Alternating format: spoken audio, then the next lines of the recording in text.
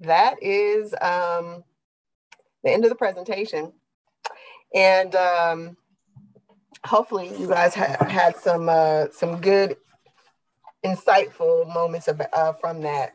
But essentially, um, as Jordan was saying, you want to make sure that you're being true to yourself, whether it be when you're dealing with other people or when you're dealing with yourself.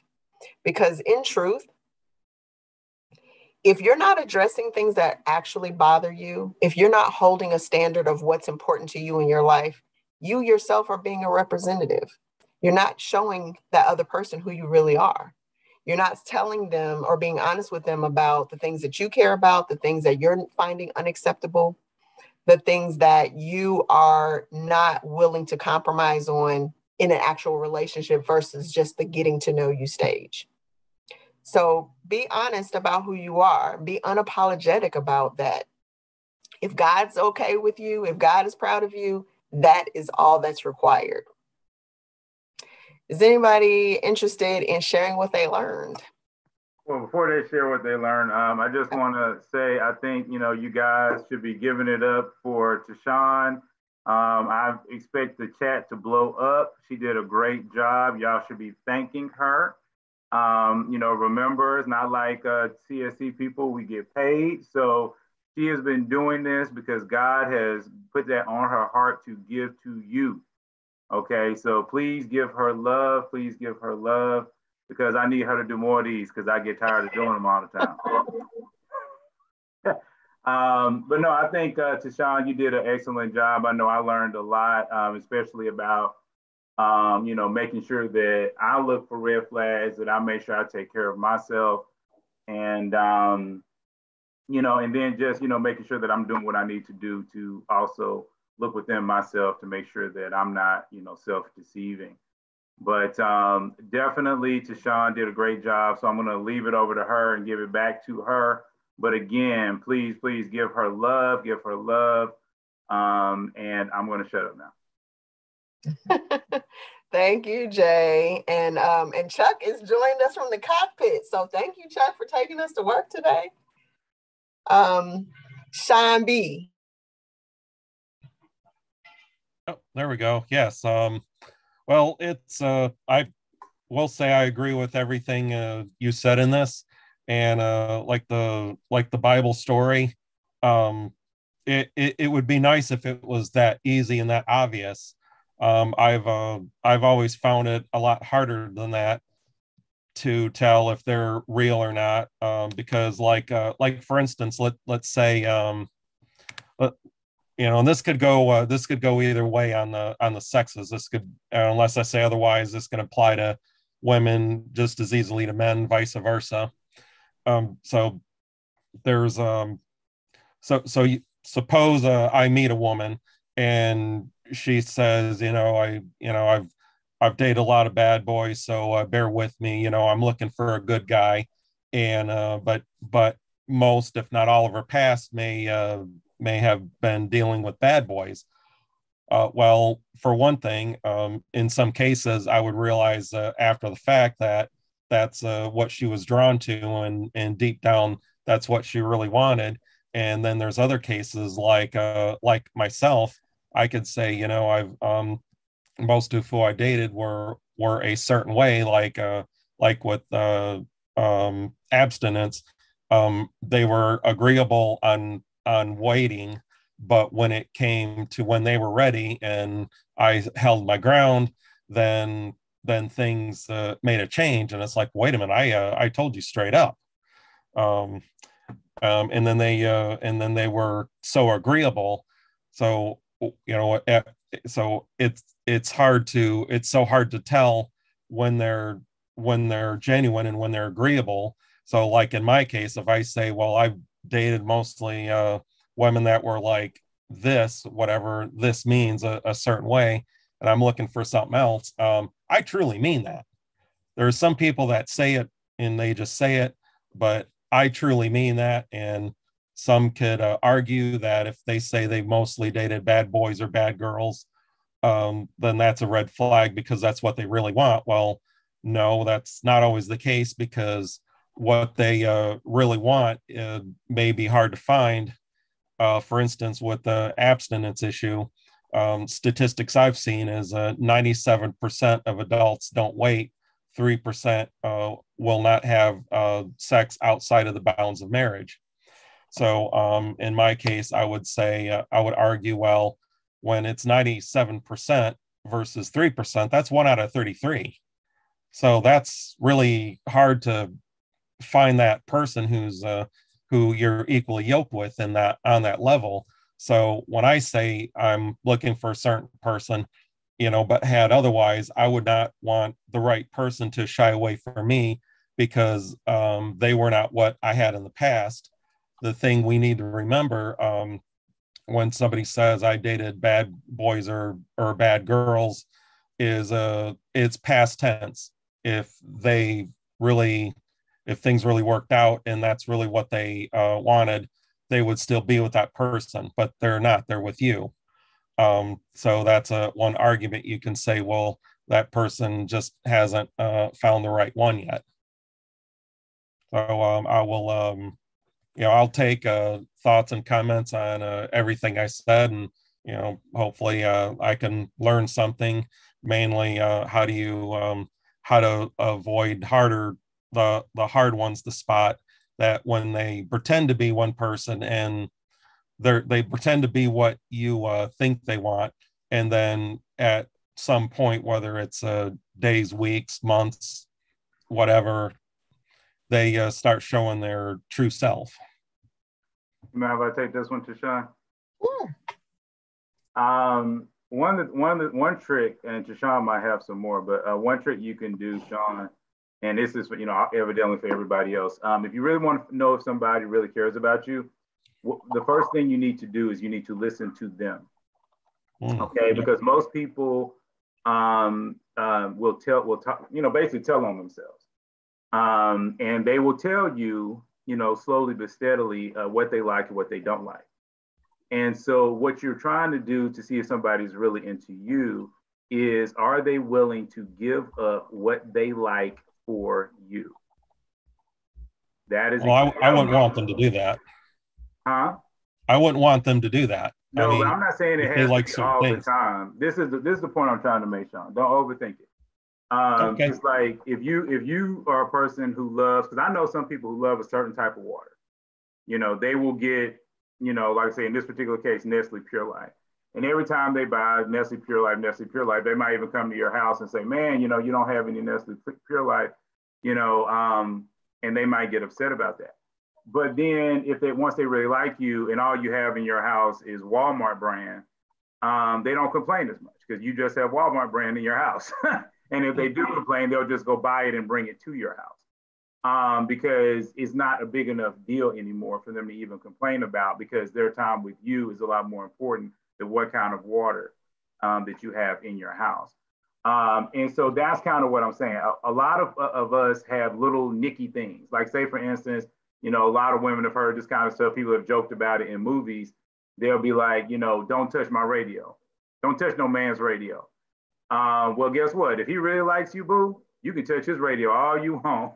you can change the channel, listen to what you want to, because he into you so much that he really don't care if you touch his radio. But the whole issue is, does he love the radio? Like if you come into my car and you touch the radio, I'm not gonna care. Half the time my radio's off anyway. So I don't love my radio. So it's not important to me. That's why you have to listen to find out what is important to him because it's going to change from person to person. You know, but a lot of us, like Tashawn was saying earlier, we're not really listening to the other person. We're filling in the gaps based off of our past history.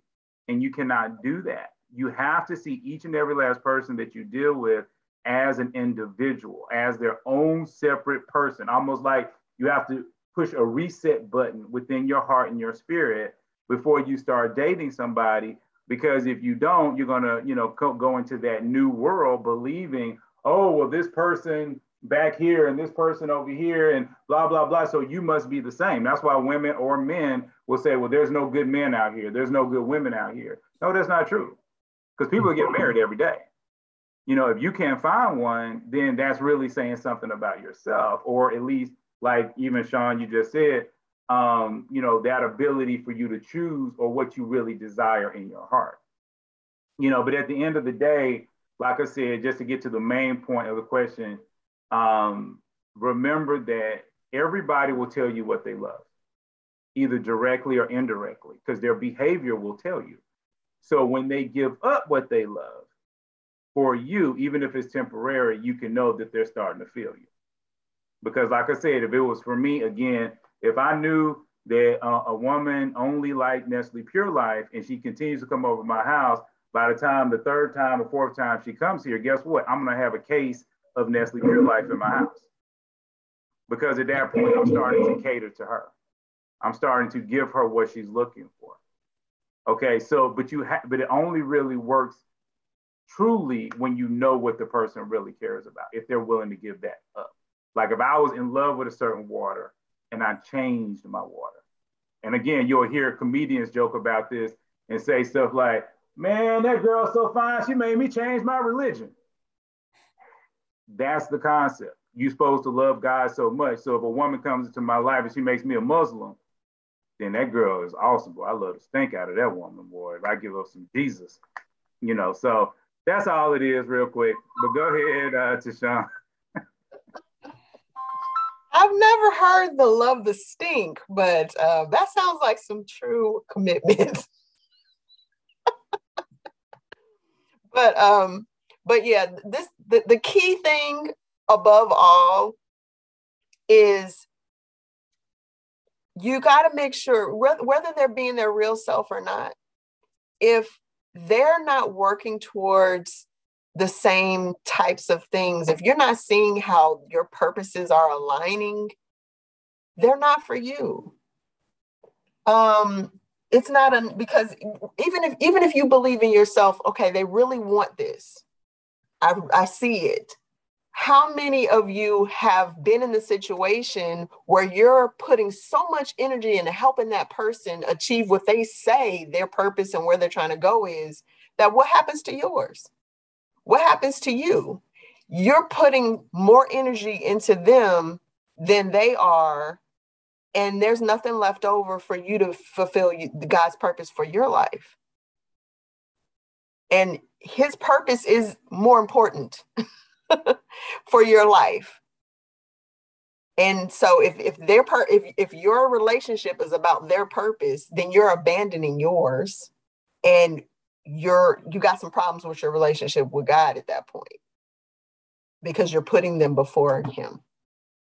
So um it seems kind of like I don't know, maybe mean but you have to draw a line and say, okay, I know that this is what I'm supposed to do.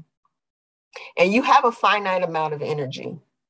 So, where are you going to invest that energy? Are you going to invest it in things that are going to move your life, God's purpose in your life forward? Are you going to just kind of take this shotgun approach of I'm put some over here and with this person and this relationship and put some over here with you know these things but they're i mean have you ever tried to row a boat you can't you, the oars you have to row in one direction to get somewhere if you got the energy going in different directions you're just spinning around in circles. You're not actually progressing. And that is not in alignment with god's vision for your life what he, what he created you for. And that has to, if, if that stays first god brings to you what is needed. Whether it's people think whatever it is, he's going to bring that to you. Because he's not, you know, he is not a man that he will lie. He's not saying, oh, this is the purpose. And then he's going to set you up for failure. to set you up for success. So don't be your own worst enemy. And um, who is it? Uh, somebody, somebody's going to know when a person shows you who they are, believe them. If they're not, if they're, if they're not doing the things that are consistent with what they are saying, then they're lying. They're just lying. Don't make excuses for them. Do not make excuses for them. If you really feel like, well, maybe ask them straight up. You keep saying that you want to do this, but you know, you're not doing the things that are going to get you there. So what's going on? And, you know, I mean, maybe you all can be friends until they figure it out. Adeze. Hello, Tejan. Hello. Can you hear me? Can I you hear, hear me? okay. I'm so sorry about what happened. I wasn't aware my mic was open. But wonderful presentation as usual. It was so apt, so precise and practical, and exactly what I meet in the in the you know dating market. I don't like using that word, but I'm going to use it for the purpose of this um, presentation. And to Sean's question, very good question, because I noticed that guys, most guys, and you guys can agree or confirm, whenever they meet someone they like, nothing else matters. It's like she can be whatever she wants to be. I'm strong enough to take it. And I find that attitude so dangerous for a guy who really doesn't know what he wants. You know, he doesn't, he has no idea or preconceived idea of what he wants. And looking at Samson, he had the same attitude. His parents didn't want him, and even God didn't want him to have anything to do with a woman from Philist- Philistine. But he said, This is who I want, and that's it. And even when she was tempting him and asking him over and over again to betray himself and his God, he kept saying, Well, I'll just wake up and shake myself off and to be like, you know, those other times. You know, he kept overlooking the fact that she was really conniving. He just didn't see it because he thought he was strong enough, right? He thought, he, you know, nothing could trip him up. And I see that attitude with guys, with men, so prevalent. It's whenever I like someone, they, it, it's like all vetting goes out the window. You're not listening too carefully for me, I love a man who is vetting me as closely as I'm vetting him. To me, that's a green flag. If you know, that is such a wonderful sign for me. But I notice guys don't do it. Instead, they get uncomfortable with all the vetting. So that's not a good sign. So to Sean, what I would say is for women, and annotations, you can agree, most women are agreeable to anything if they want something from you they agree to whatever. They'll be anything you want them to be. They'll say whatever you want them to say because their eye is on what they want to get from you. And they're going to get it because they know exactly how to position themselves to be and to think and to say whatever you want to hear. So for for for for me, I would say if a woman is too agreeable, that is not a good sign you know, she says yes to you, to everything you say. You don't really know what she thinks, but she wants you to think she's thinking what you're thinking because she says yes to everything. So, you know, ask more questions like the presentation says. You can't assume. You have to ask. If she's saying yes, sure, right, to everything you say, that is not a good sign. And I meet guys who do the same to me. And immediately I see that I know uh, this is probably going to go you know, the other way. Okay, so if you're saying something important to you, watch carefully how she responds to that. If you're saying something important to you, watch how she responds to that. And number two is, does she have her own boundaries? This should be a great sign to you as a guy. If a man is not who he's supposed to be, you know, if a man is not working right, if his confidence is not there, he will resent a woman with boundaries. So a healthy woman has her own boundaries. So you bring yours, this is where you stop. You don't go beyond this. You should also see her doing the same. Maybe not in the area that's important to you, but she should have things that matter to her as well that she's not going to cross. So that should say to you that she has integrity. She has, um, she knows who she is. She can say yes. She can say no. You know, that's that's a, a, a, um, a woman with a good head on her shoulders, and that should be attractive to the right man. And the last one I wanted to say was maybe putting too much focus on that one thing. We discussed that one thing last week. That one thing, the sex, okay? When you put too much focus on one thing, you're going to miss all the signs, good and bad. And I'm talking to myself too, you know, when I say this, because when you fix your mind on that one thing, all the other things are going to be like scrambled in your head. You're not going to know what to make of them. So take out the focus on the abstinence, on the sex. If she has a leaky character, you can easily decide what her response would be about the sex without even getting to that point.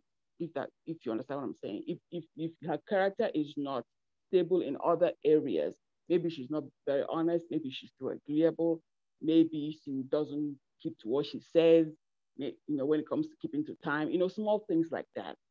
If you notice that happening, you can easily conclude, and rightfully so, that when it comes to the big things, she might be wishy-washy on that. So as, as a woman, that's what I'll have to say to that.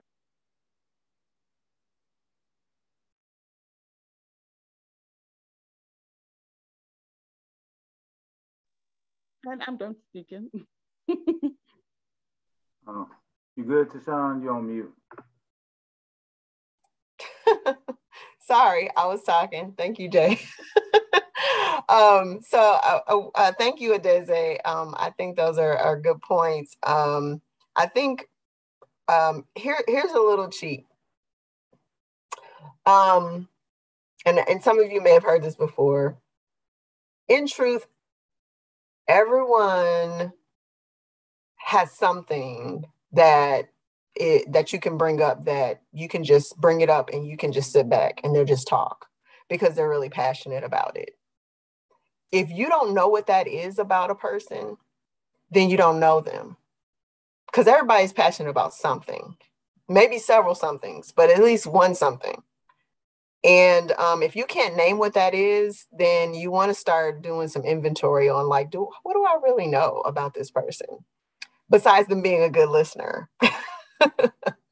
Because uh, there's, you know, something, and I, I this is this is something that I just do because I, I sometimes get tired of talking, believe it or not.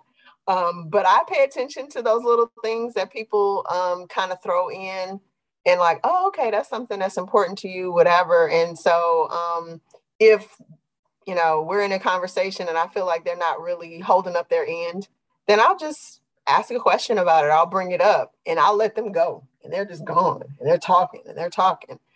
But um, if you can't think of anything like that, or if, if when they talk, it's all surface stuff that's not really about them, it's about somebody else, or it's about, you know, so, something generic or, you know, TV, movie, something like that, not actually telling you things about them, then it, they're not effectively communicating with you to, for, you know, the whole point is to get to know each other.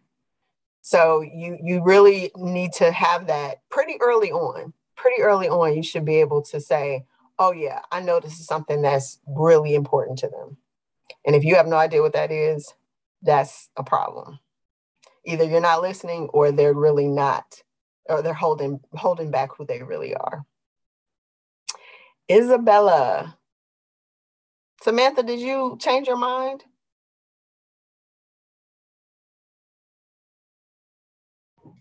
Um, I don't know how to say her name, but ADJ uh, kind of hit it on the head at the end. So I was like, let me not beat a dead horse. She kind of covered it. So, yeah. Okay. All. Well, thank you for your willingness to share.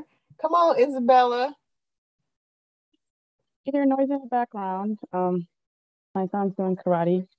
Um, I really appreciate the group. This is my first time sitting in a session. Um, one of the things that I think is important and is okay it is to be kind. Um, my one of the things I would love to hear talked about down the line is um, what I think is like the real problems in dating, which isn't um, interest, but it's how do we treat each other? How do we talk to one another? How can we talk about um, topics from a different perspective, but to do that with kindness. If you think about um, why people are divorcing, it's money, it's um, communication, of course, it's sex as well. So um, that's just something that jumped out at me. I think, um, and I guess I'm responding responding to the, the person is too nice. I get that a lot. I think I'm gonna try to be really nice because you I can actually tell people things that I don't like in a respectful way, and I think that's really important um, for everyone to feel respected, whether it's a person you're dating, whether it's your children. Um, that's like really important. There's even this whole entire love language on parenting boys in particular, and they really talk about about parenting from a place of respect. And and I'm like, wow, as I'm learning about that, I'm like, this is a lot like relationships and what the Bible teaches us about how men and women ought to treat each other. Um, and just I'm kind of maybe piggybacking off of what Sean said about morals, which was really addressed.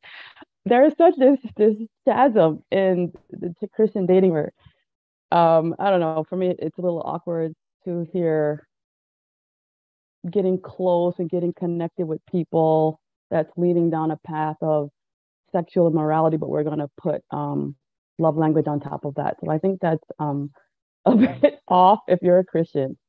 Um, are we going to obey God with with our body? Are we going to walk in love? Are we going to treat each other honorably? And I think that's okay. Um, and I apologize, I am rambly. My background is in psychology, and I don't agree with a lot of what psychology teaches, and I'm more leaning towards the Bible that we should definitely um, if we are Christian women, we should be the kindest. Um, we should also speak up for ourselves in love and in truth, but we should be the kindest and we should be um, honest. And that's okay. Doesn't mean the person's trying to pull the bag over your head. Um, but I just thought I would share that because it can almost sound like there's nothing that's, you know, it can almost feel like, and I'm not trying to be offensive. I hope I'm not, but wow, the person is really nice, so I can't trust them. Okay, great. So then let me go with a mean person now, and then marriage is going to fall apart because they were rude the whole entire time, and I thought that they were being deep. So anyway, that's my two cents. Thanks for allowing me to share my opinion. I appreciate it. Thank you, Isabella, and thanks for You're coming. Welcome. Thank, Thank you. you. So I, I, think you're right. I think that we we do we should be um, kind to one another. That's why I kind of try to say how wait because I'm I'm really direct and sometimes that hits people the wrong way, but I, I want to make sure that I'm not being, you know, misunderstood. So that's that's why I do it that way. I don't feel like I'm being mean, but what I find is that people who don't like the question, like they don't want to answer it, uh, are more the people that feel like it's mean. But anyway, um, you should be kind. And I think that and when you before when you when you said it isabella i was thinking the same thing. I was thinking about parenting because unfortunately in our world we've been kind of taught in you know modern the last i guess generation that you should be your your child's best friend and and all of these things that i totally disagree with. Um, when you love someone you tell them the truth you it's your job as a parent to say no um, and and God tells us no all the time because He's trying to help us by keeping us from harming ourselves. And um, so I don't think that you should be wary of a person that's too kind. You definitely shouldn't exploit their kindness. But I think um, what was said um, by uh, earlier, um, you want to have a person that has standards. So they don't have to be harsh or unkind about their disagreement but they do they do, need to have standards where they're saying this is this is what's important to me this is where i stand. Same with you. You don't have to be mean about it because they have a right to feel how they feel and make those choices. It just doesn't have to become your choice. It just doesn't have to be something you live with and um, what we found in you know all these different discussions is that folks have a different idea of what um, morality is, where the lines are, what's acceptable to God with our bodies, and all of those different things. And we all work our, out our own salvation. It's you know our relationship with God is our relationship with God. So there's no judgment as far as telling another person that they're right or wrong. That's that's for God to do. Jesus will talk to them about their issue in their conversations. But when you're talking about aligning or joining with another person in your life, you do need to be on the same page of what your standards are, what's acceptable to do or not do in your life. And it's not you don't have to do it in a hurtful way. You don't have to do it in a mean way, but you just let them know, you know, for me, this is what I have to do for me and my relationship with God. And if you're if we're in agreement, then that's great. If we're not, you know, this is what God put on my heart. And I have to have my relationship with God has to come before my relationship with any person. Um, and if they have a problem with that, then that's a different situation. But they should be able to respect the fact that you, you know, have these standards for yourself. And it, there's there's value there because ultimately, if you're going to have a life together, then you're going to have standards for your life of what you're going to allow to come into it and what you're going to keep out of it. And um, you want someone that is willing to be joined to you with that defense mechanism to say, hey, this is not good for, uh, for our life, our relationship, our home, our sanctuary, our children, whatever, you know, you're trying to protect and hold that standard for. But definitely doing things in love. There's no reason to beat anybody up. Val. Hello, can you hear me? we can hear you, Val. Hi, this is uh my first time, so thank you for having me. Um, I guess my greatest takeaway, or not the greatest, but the, the presentation was amazing. But I guess the one takeaway that I took that I didn't see it from that perspective was just how much um, I'm I aligned with Samson. Um, you know, when I like to think of stories, I always do it a little bit more animated in my head. And I feel like um, with him, it's almost like how we treat it. Like, it's, I don't think it's that he didn't recognize it. I think he like kind of probably side eyed her every time she asked the question. Um, but I think he felt as if he was just strong enough to handle it. And a lot of times we see the red flag when we see the sign, but we say to ourselves, no, I'm strong enough to handle it and then we just it keeps piling up until there's a part where it reaches you know to where it becomes our undoing so i just you know i guess that was like my biggest takeaway is like wow we are all or a lot of us are like samson where we see them we recognize them we know it but we we feel like we're strong enough to handle it and we just have to be careful because it could be that final straw that just breaks us down which then we take on those things and bring it into the next relationship, so on and so forth. So that's all I wanted to say on that. But thank you for having me. I'm looking forward to joining more of these Zoom calls. Thank you, Val. Thanks for sharing that. I I um I, a lot of the mistakes that I've made in my relationships with people have been based on my certainty that I would be fine or that it was God's intent that I be like that that person you know to to believe to help that person to to you know find their way like they really wanted to do this and i had enough faith to spare um and, or i had enough love to you know to to help and um what when my children were small, um, when my husband passed, I was continuing that, but now I had my kids, and I, I told my kids they, you know, they saved my life in a lot of ways because they made me more selfish for their sake. And God showed me that, um, you know, you're you're having these struggles because you're giving everything away, and absolutely you're you know you're not supposed to keep it all to yourself but you have to hold something back. When you're looking at any uh, situation and i think about you know like uh, agriculture when when you're um, harvesting you don't consume everything that's that was that grew. You hold something back for the next planting. You you have a storehouse you have a silo that you hold things back. So you have something that you give away and you know god guides you on that. And then you have something that you hold back that's god sustaining you that god is you know saying okay this is for you and your nourishment and your well-being. So you can continue to be a vessel but not that you you know give everything away you're like okay how am i going to pay my rent? Or you know or just emotionally how am i going to you know face tomorrow because i'm just you know left without anything for me.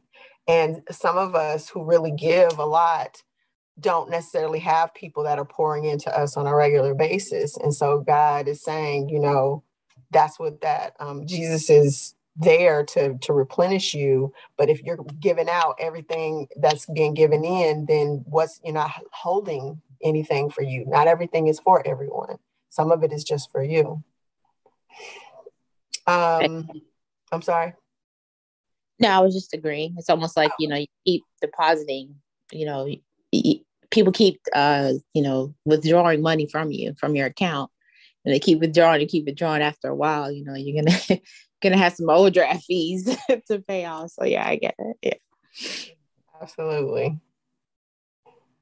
Anybody else want to share on uh, the presentation or any of the comments? Sean Williams got his hand up. Oh, Sean Williams. Share with us. Can you hear me? We can hear you. What's up, Shashawn? Jay. Hello, everybody. Um, hey.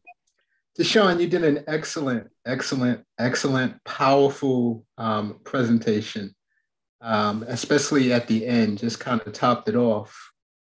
And it reminded me, actually, it just made me reflect because I have some, I've got some beliefs or I've been rationalizing and justifying some things.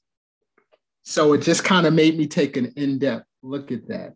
Um, but your presentation was powerful. I want to just talk a little bit about the beginning um, when you talked about asking questions. And you know, we gotta we gotta be able to ask the tough questions. I mean, we're adults, you know, so I'm always asking tough questions. It is impossible to be around me without me asking you some tough question because it creates a connection. It creates an emotional connection, mm-hmm. you know, and I will never do that without sharing myself first. You know, but I'm always, y'all know me, I always look for reciprocity in everything. Um, so it's got to be a give and take. You know, every time I leave a date, I look at how I feel after I leave that date. And if I feel like just drenched and spent, and not filled up, then it won't be a red flag the first time, but after the second or third time, then I got a red flag. Because I see I'm constantly giving and not getting anything in return. You know, one of the things this group has showed me is how I was constantly dating the same person. Um, different body, but the same.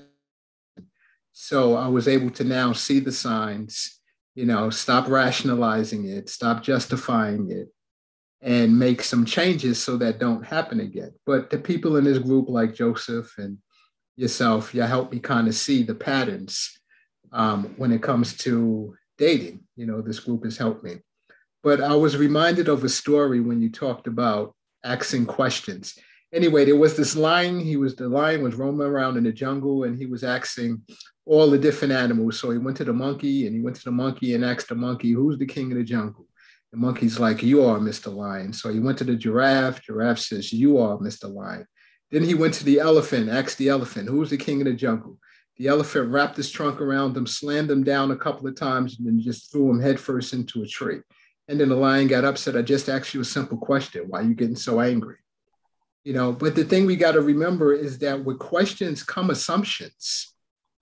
You know, we we do assume some things when we ask a question. So, in your comment of not to assume, I mean that's that's like deep. That's real deep. You know, we got to be careful not to assume. You know, I used to tell my kids all the time, "What you do speaks so loud, I can't even hear a word you're saying." you know, and the truth be told, I do that with people as well. You know, I call it giving them enough rope to hang themselves. So I've been around the block long enough to be able to see who you are without you saying a word. You know, you talked about how they act with other people. Yeah, that's who they really are. and yeah, you're right. It's going to come to you eventually. you know, everybody gets a turn, so it's going to come around to you eventually. Um, but you know, I just wanted to reach out, say hello to everybody. To Sean, again, you did an excellent job. This is one of your better presentations. Thank you. Thank so you. I, I guess practice makes perfect. Um, but that's it. I look forward to seeing you guys at the uh, the bowling. Okay, let me let me uh, just uh, pray us out real quick because I know some people will be dropping off pretty soon because um, it is um, 1250. Thank you, by the way, Minister Sean. I was just about to say that. Um, everybody, if you if you're new, you can register at csc365.org. Um, Sean Williams, who you just heard, he is our webmaster. He works on that website. Um, we do have we put um, the videos up on there um, after they're um, you know done or whatever. Sean will put them up there. So if you want to go back and watch our old videos, a lot of them are out there. Um, we have a few still out on YouTube under JL Speaks, but we're trying to move everything to 365, um, CSC 365. Um, also, um, yeah, so let me just pray us out and then, uh, you know, anybody wants to hang out, we'll still be answering questions and talking for a long time. So we don't really encourage you to go. But I do know some people have uh, other appointments to get to. Uh, Lord God, th- I thank you and I praise you so much, Lord, for just uh, this wonderful day. Um, everything is so beautiful and sunny outside here in Georgia. And we thank you for that. And we thank you for Tashawn, Lord God. We know that the Holy Spirit's been working with her all week on this presentation. So we thank you. Um, and we thank you that it will be touched, uh, that it touched each and every last person that was on this call and each and every last person that's watching the video. And we know, Lord God, that you are good, glorious, and righteous. And we just thank you. And we, I just ask that you would just touch each and every last person, bless them, guide them, give each and every last person what they need um, right now in Jesus' name. And we just thank you, honor you, and we praise you in Jesus' name. Um, so, also, really quick, um, again, ladies, you can start to see that, that we do have guys on the call. A lot of the guys show their face a little bit more um, than the women do. But again, I do encourage you ladies to show your face as much as you can, or at least show a picture, because um, you never know. Your man could be looking at you, checking you out. You could also ask questions or talk. It's a great way to get known before we meet up in person. Because when you meet up in person, a lot of us know each other because we've been hanging out. so I mean, we're friendly, but you know, um, you know, the more you talk, even if you just ask questions, it just helps us to kind of get to know you a little bit. Um, it was nice to see that Mr. Joe Black wasn't walking 50 miles like he was last week. I guess he was because today he was driving. Um, so um, I guess uh, he walked maybe, you know, to Georgia and then he drove back. Um, I don't know. I don't know what's going on. Here he is. He's, he's showing us, you know, he got his mask on outside. So I had to mess with him a little bit. And then we got Mr. Michael Wafford up there, you know, showing off the muscles. He always makes sure he's got his shirt up, you know, to show off his muscles, you know, to all the ladies. He also can cook, ladies. You know, he likes to he likes to let all the ladies know that he can cook. Um, same thing, Minister Sean is down there in um, Savannah, and he is looking for a nice young bride. I mean, he's a he's very wise, but he's one of our younger people, and Mr. Sean uh, B is over in Alabama. So we got, you know, guys all over the place. We probably got other guys, you know, that are hiding their face. But, um, you know, hey, that's how it is, ladies. I'm just letting you know, I always try to give everybody a shout out. So I'm going to shut up now. Minister Sean is looking at me crazy. He's ready to talk, he's ready to preach. You know, God has been moving on him. His preaching voice is getting stronger and stronger. Y'all definitely want to be here next week when he talks um, because he is definitely a uh, true man of God and he is um, powerful power. The Holy Spirit is on him. And um, so take it away, Minister Sean. Um, wow, got to talk after all of that. That's something. um, well, Tashawn, the first thing that I will say to you is that uh, the older preachers would say that you were walking heavy today uh, with your presentation. Um, definitely some great information from start to beginning.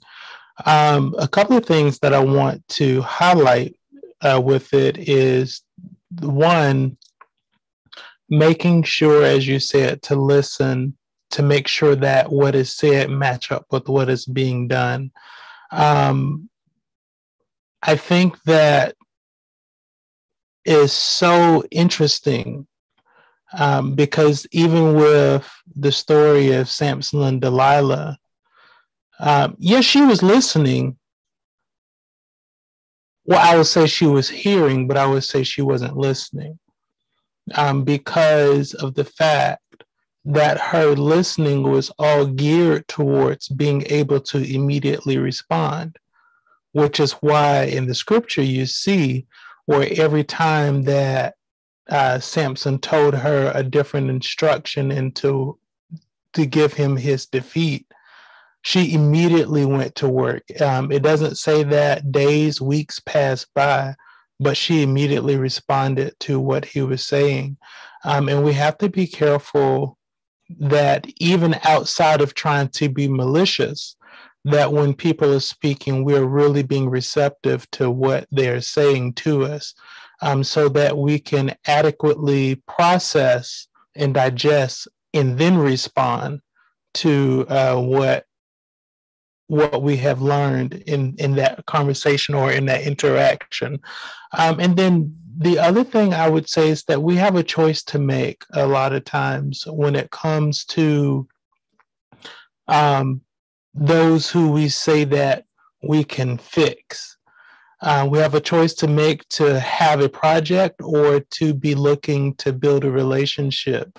Oftentimes, we, even when you see the potential in the individual, and that goes back to Tashawn's point of whether or not uh, that person God has put you in their life truly for the purpose of dating and relationship, or is there some mutual exchange uh, that God wants to happen for the betterment of both individuals? Um, so we we just have that choice to make. Um, are we willing to to risk not getting what we need in return because of trying to always be there and help and and support someone else's vision. Um, and that is so key what you said concerning the fact that the two people will be an asset to each other's visions and purposes. Um, uh, that i don't know i can't say enough about that. That is so strong um, because God tells us that He will give us a help meet. A help meet for our needs is what I would extend that to say.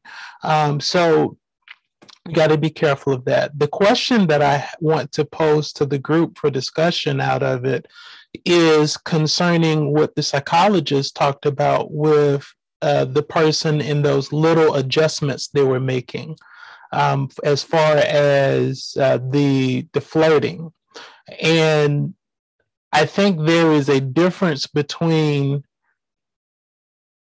airing out the points of contention versus nagging or being in your head. Um, and I'm just curious to hear other people's thoughts on that balance. Um, my personal opinion is simply that if if it's on your mind, it's worth bringing up because of the fact that it is on your mind. Um, but I'm curious of that balance uh, of what other people think about that. Hmm. Anybody want to share their thoughts? Um, well, while, while you're gathering your your um, thoughts on it, I, I just want to um to to say uh, Minister Sean, I think that there's something that we maybe don't remember sometimes.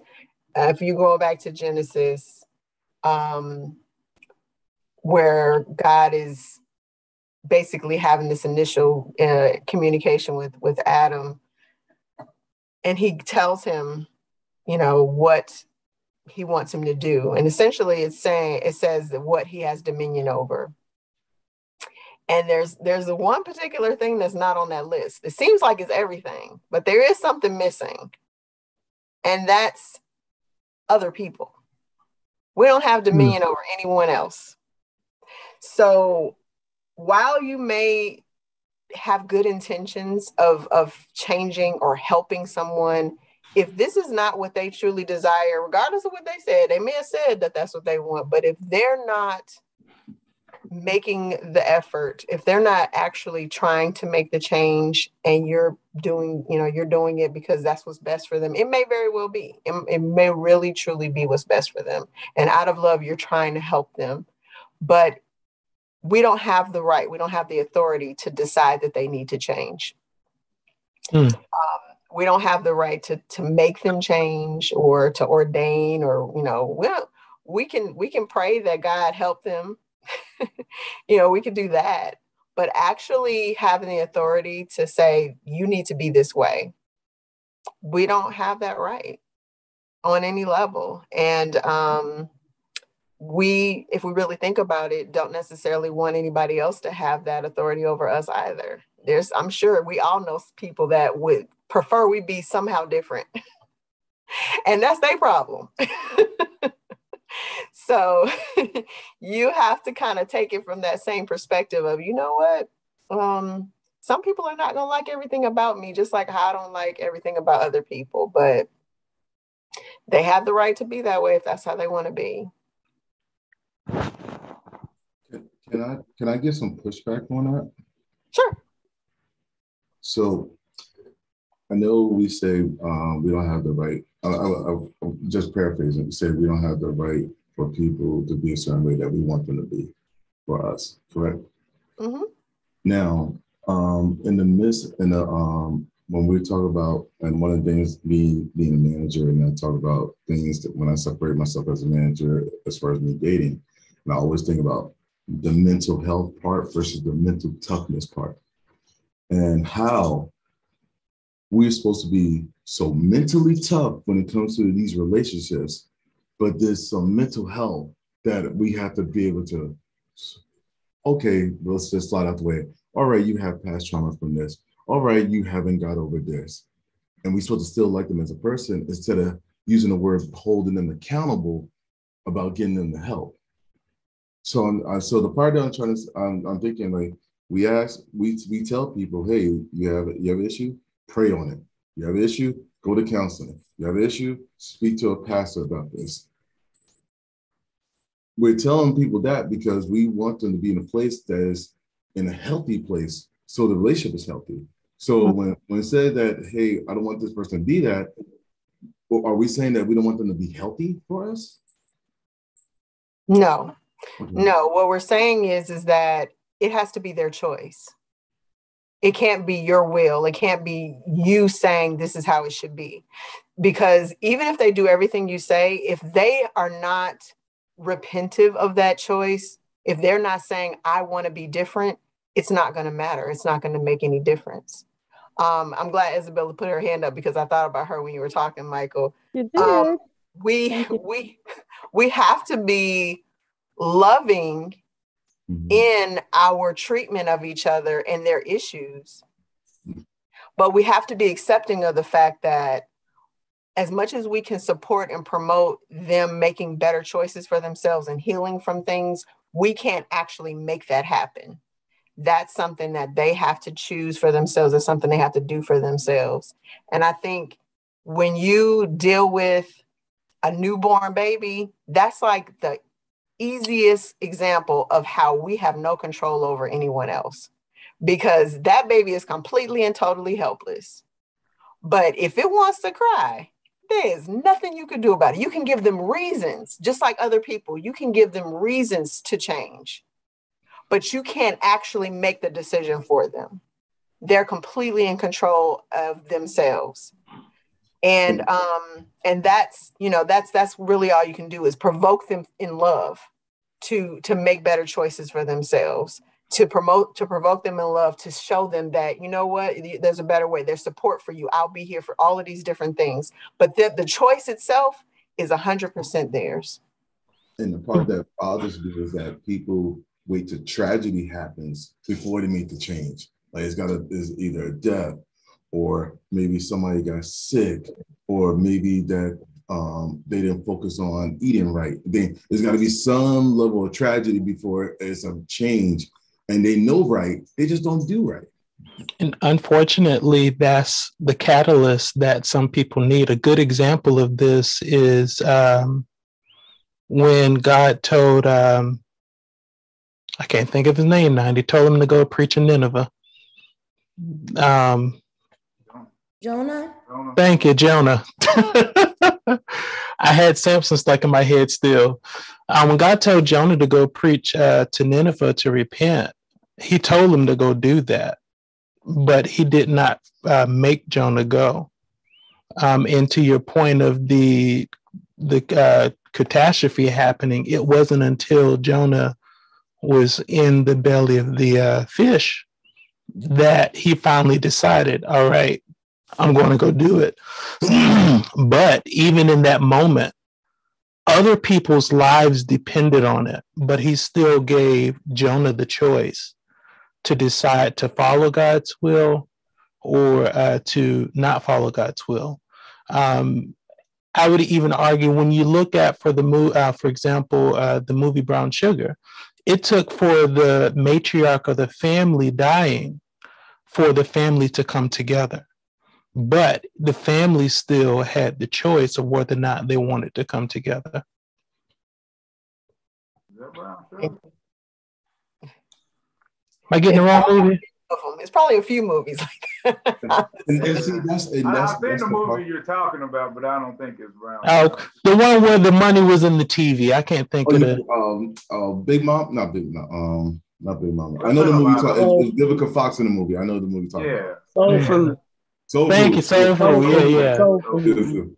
And and that's the, and and that's the part when, especially when it comes to dating. Like me, I'm I'm 40. I'm I'm active. I'm an active dater, um, and I have focused on being um, a people's like a man of the people, meaning that I as far as like me having the need to be right or just trying to set, make myself uh, be more just sh- show myself no i'm always listening to the, what a woman's saying and i always watching body language like my, my whole core is just seeing how they move how they react to this how they react to this question how do i make them laugh uh, I've, I've been more focused on seeing where they are and then saying okay well um, what are the next steps to where we need to be? And put the ball, I always play tennis, put the ball in their court. What did it, no, go right back on you. What you got? And it works. It works at times, but also it, it reveals it reveals who they are as well. And um, long story short, it's just when I, um, especially if you're talking to a woman who believes in God or a woman who maybe just uh, watch YouTube Sunday YouTube services, or maybe somebody's watching the Bible, um, the one the one thing I see they have in common is that they're searching for someone to lead, uh, but that necessarily doesn't mean they want you to lead them. And the part I'm always trying to I'm always trying to bridge that gap is that how do you allow me to be the lead without feeling as though you need to take the leadership role away from me at the same time? Uh, boy, you done just opened up a whole lot of can of worms on that one. We talked about that one for a minute. Can I can I respond to what Deshauna had? I apologize if I mispronounced your name. Um, if that's okay. And I think it tap dovetails to what Michael was asking. Um, so this is kind of coming from the place of not just reading the Bible; it's from personal failure, um, studying relationships from a godly perspective. And I find that today there's this whole movement out there that's not all that new about resting in your feminine power and, and all that stuff, but it's really kind of ripping off the Bible. And um, as a Black woman um, from slash Caribbean island and America, right?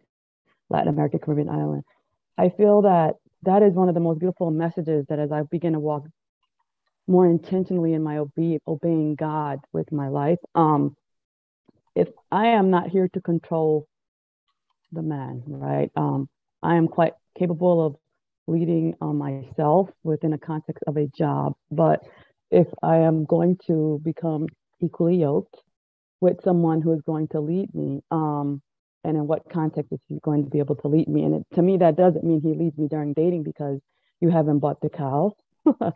Um, so no, that's my son. He's moving, but um, but he can't hear anyone here because it's an adult conversation. But anyway, um, I think that there's a dangerous place, Michael. What I'm hearing is that to me, that's a dangerous place for me as a woman to try to start fixing um a guy and pointing out all his flaws. I feel like he should already know who he is spiritually, not perfect, but he should have enough knowledge of the Bible to understand the first two paragraphs in Ephesians 6, right? Um, to me, that's kind of basic, at least for me personally, and I'm not here to judge anyone else's standards.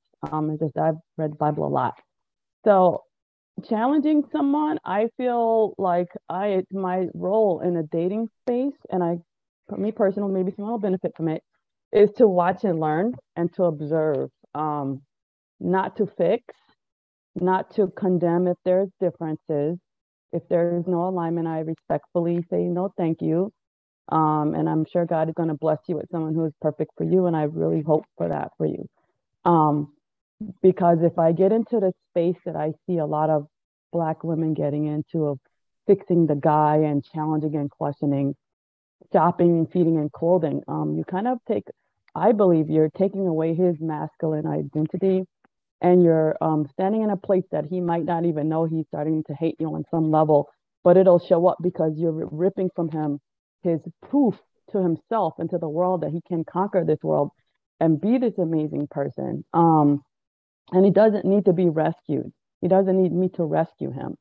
But um, I think I do feel challenged by what Michael asked, because it, it makes me wonder how do you challenge somebody without stepping into that space? Because that's a space I do not intend to step into, and I do not think it's appropriate for me personally, and I guess privately. But um, should I be challenging him? I don't know. I think encouragement is more along the lines of what I think, and um, you know, if the Lord shows me otherwise, that's fine. But that's just my two cents. Um, I was watching, and I'll try not to ramble. I was I love reality TV, and I was watching. Um, was it Married at First Sight? I watched all of them. Married at First Sight, Ready to Love, and then Married at First Sight. Um, the man Olajuwon was challenging his wife to um to be a wife, to be more wife-like, and he wanted her to challenge him in kind. I don't. to me, that style is not really going to work very well in the long run. He's going to get burnt out and hate what he thought he wanted. But that's just my two cents. I could be wrong.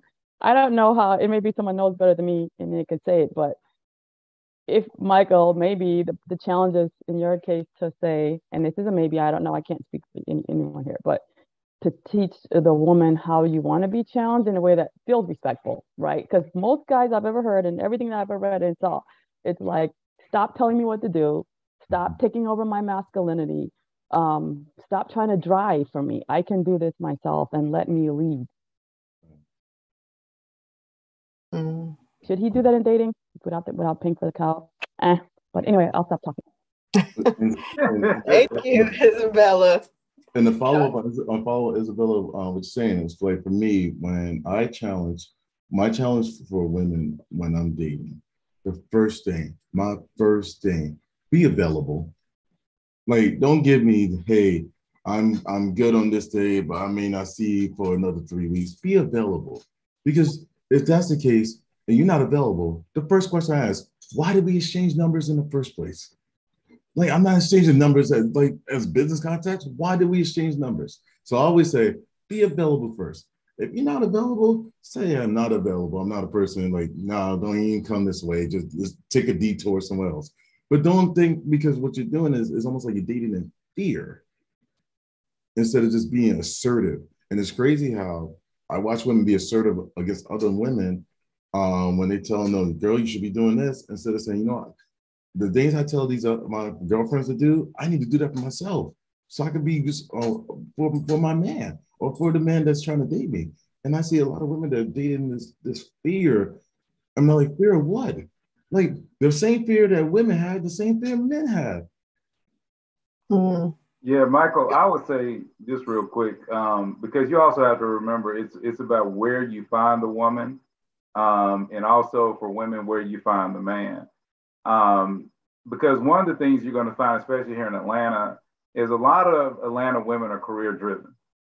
Okay, and career driven women, um, they're busy That's just what it is. Same thing, career driven men. I'm a career driven man.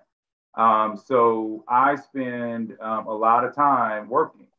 And so when I date, you know, a lot of women are like, well, you know, you don't call me, you know, you don't text me all the time. You know, it takes me, you know, it takes two or three hours to get a text from you. Um, I don't hear from you, you know, for three or four days. But I always tell them at the very beginning of the relationship, I'm like, I'm a busy guy. I like to stay busy. That is my personality. And I'm like, if you don't like that, then you're not the one for me. And so you also have to pair to those types of women because there are women, believe it or not, that they all they do is watch TV, or all they do is read books, or all they do is chill and relax. And those women are almost always available. And there are men on the same boat that they work their nine to five, they come home, and that's it. That's all they do. And they're almost always available. And so the reason why I'm saying it like this is to is to try to illustrate just the point that just because you're attracted to somebody doesn't mean the relationship is necessarily going to work because you have to have that personality, you have to have that rhythm.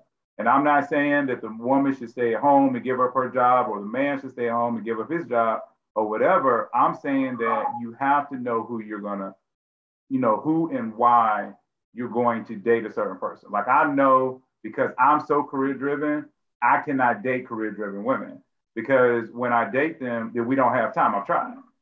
She doesn't have time. I don't have time. And so we never see each other and it goes away. But if there's a woman that has a little bit more time, she's a lot more relaxed, she's a little bit more of a homebody, we get along much better, you know, because she might even come over and hang out and she might be watching TV or doing something else, and I might be doing some work, you know, trying to finish up some stuff. So you got to find that person that fits, you know, and I know you know this, Michael. I'm just kind of saying it more for everybody because there's a lot of people out here, and you got to remember that there's all these different vis, you know, different types of people. And I know that there's a lot of women probably right now on this call, especially the ones that aren't saying anything, that are probably a lot more homebody-ish, um, that are just really kind of want to chill. Um, and so those are the types of people that you know you might want to lean toward just a little bit more. And that's also why the women that don't talk as much, I try to get them to come out to the group because when you got the guys come out, you have more opportunity to meet men. But I'm done talking. I think Laney's up, Deshaun. Yeah, ladies, don't, ladies, don't be shy. Don't be shy, ladies. Come on. You gotta, Michael. You gotta. You need to move your camera where the light, because right now you're silhouetted. Sorry, sorry. This is your face. Sorry, they don't know you're cute. sorry. you gotta, you gotta move it where the light is in front of you. my fault. Is this black thing going on right now? I'm just No, trying no, to. see, no, you just need. This is like my night. This to is my night color. You. You need to go back to the kitchen like you was the other day. 'cause Everybody can see you. Let, let me maybe. No, because see, that's making it worse. You got the I'll light go to needs the to be kitchen. in front of Yeah. you. Yeah, light needs to be in, in front. The light In front of you, Michael. See, we trying to hook you up. And all the women now, they- they got their hands up. They're like, what's Michael's number? He kind of cute. What's his number? What do he do for a living? Now, you got to have a job, Michael. Now, you got to Oh, have a well, job. I'm, a, You- I'm, I'm an IT manager. That's my job. See, there you go, IT. IT manager. There you go. IT. We love IT. He's smart and he got some money. Come on now. And he got a job. There we go. We'll, we, we'll go go. outside. So We'll, we'll go outside here. We'll hang out here. There you go. So now you can see him. He Yeah, got his wait. little his yellow hat on. You know, make Hey, sure by the that every way- once in a while you flex one of the muscles. See, you putting the, the sun behind you again. Just Oh, sit so down dark? with your- with- see, now we can see you. See, no, Now you can see me. Put the light a little bit more. I'll put the light on. Okay, see, we can see you more now. Y'all need a side There conversation. we go. There we go. Now we can see you. I, I'll take him to. Here we go. Here we go. I, I'll take. I'll take him to the all y'all office. ladies, take a good look at him now. He's 40 years old. He's an IT 40. manager. He loves Jesus. Oh, Okay. You got any kids? You got any No kids, kids. Michael? No, No kids. kids. You want kids? of course, of course. Okay. So ladies who want the- kids, One kid. okay, you know. I'm the oldest of eleven kids, so I want kids. So he yes. want a whole lot of kids. He might want a whole lot of kids. So y'all have a whole lot of fun while y'all making all them kids. And y'all remember that. Y'all gonna have a whole lot of fun while y'all making all them kids. all All right. So um, I'm gonna shut up uh, to Sean Laney. I think is up Jay, got this to shoot my shot. I just I just want to share this right quick. And I know that some people may disagree with me, but people do what they really want to do. So no matter how busy you are, if you want to spend time with somebody, you're gonna find time. Um, what what if you're in the on the other side where a person is not spending the time um how much or how demanding of it are, are, you are you being do you have to be the center of attention like if JL is working on his animation, do you have to sit like a like a cat in his lap to like you gotta pay attention to me? Or is it okay for y'all to just be in, you know, together and he's doing his thing, you doing what you're doing? Um, and are you showing interest in what they're doing? Are you contributing to it? Like if you want somebody who's ambitious, are you um like strategizing with them on like okay and that goes back to what i was saying before about the purpose. If you guys have a shared purpose it may it may be that you guys are doing different projects but if you're helping each other move towards it then you're they're not losing ground you're not losing ground in furthering what you're trying to do because you're helping each other get there. Like oh that's a great idea or i don't know how to do this. Oh i know how to do that. Let me show you. Those things kind of contribute to that development and that connection but if it's really like, well, you know, if we're together, we're spending time, then nothing else can happen. It's just me and you, and that's it. Then a person who's super ambitious or really, you know, like that's probably not going to work out. Um, but you have to be honest about who you are. No, I'm I'm agree with that, and I also say, um, you know, because like I said, when you're when you're in this, because I'm just want to say from a, a, guy's perspective that's very ambitious. Um, a lot of times it's not necessarily about um, if the woman is okay with just like I say, being in the space, you know, even if she's working on something, I mean, she could be working on something in the other room, or I could be working on something in the other room in her house, um, or we could be working on something side by side. It's just that I just do a lot of work. So, um, you know, people need to kind of understand it. Just like CSC, you know, um, for those that are new, I am the main organizer of CSC. So there's a lot of stuff that I have to do in order to um, make sure that you know CSC is constantly running. And guess what? Even when I get married, I am going to run CSC. God has put His hand on CSC, and so therefore, um, right now, I know that I am I'm going to be doing it. And so whatever God sends me, whoever God sends me, has to be okay with that. But the point of it is, you can make it work um, if you want to make it work. But I, also part of my point though to Michael is that there are plenty of people that that's just not what they do.